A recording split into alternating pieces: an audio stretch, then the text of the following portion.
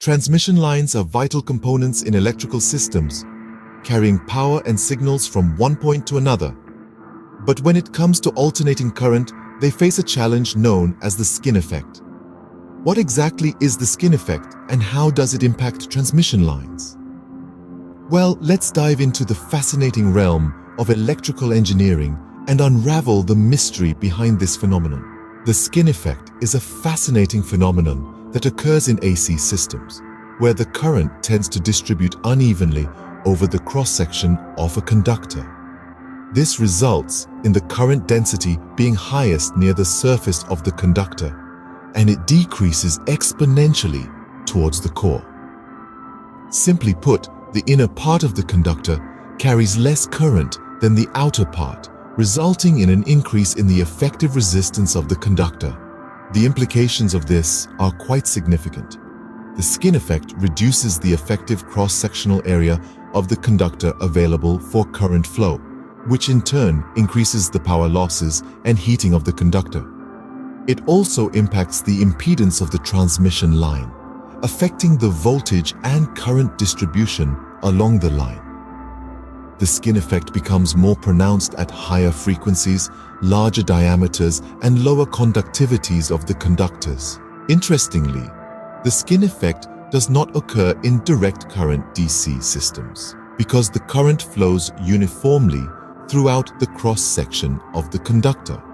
However, in AC systems, especially those operating at high frequencies such as radio and microwave systems, the skin effect can have a significant impact on the design and analysis of transmission lines and other components. But what exactly causes this intriguing skin effect? It's all about the interaction of the magnetic field generated by the AC current with the conductor itself. When an AC current flows through a cylindrical conductor, it creates a magnetic field around and inside the conductor. This magnetic field changes in direction and magnitude according to the frequency and amplitude of the current. Now, according to Faraday's law of electromagnetic induction, a changing magnetic field induces an electric field in a conductor. This electric field then induces an opposing current in the conductor, known as an eddy current.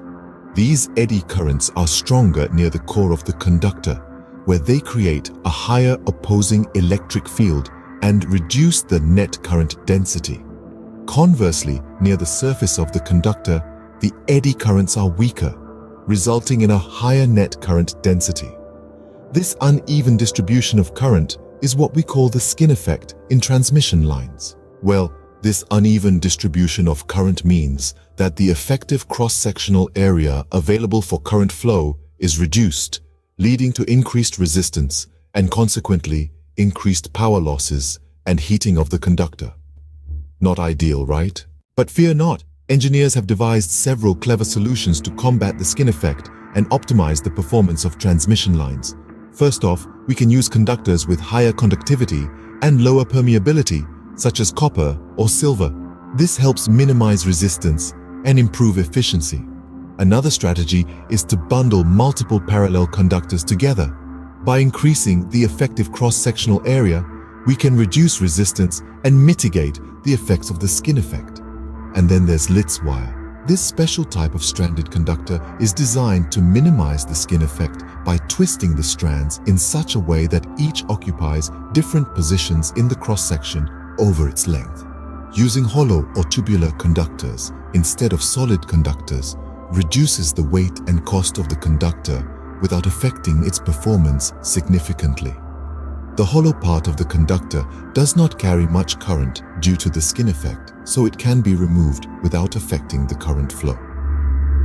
Reducing the frequency of the AC current increases the skin depth and reduces the skin effect. However, this may not be feasible for some applications that require high-frequency signals. Skin effect in transmission lines occurs when AC current flows, causing uneven distribution of current across the conductor. This increases resistance and impedance, reducing efficiency. Factors like frequency, conductivity, and shape affect it. Skin depth quantifies it. Methods to reduce it include using high conductivity conductors, smaller sizes, and lower frequencies. It's crucial in electrical engineering for designing transmission lines and other AC current components. And that's a wrap for today's video. I hope you found this exploration of the skin effect both enlightening and informative. Don't forget to like, share, and subscribe for more content on all things electrical engineering. Until next time, stay curious and keep innovating.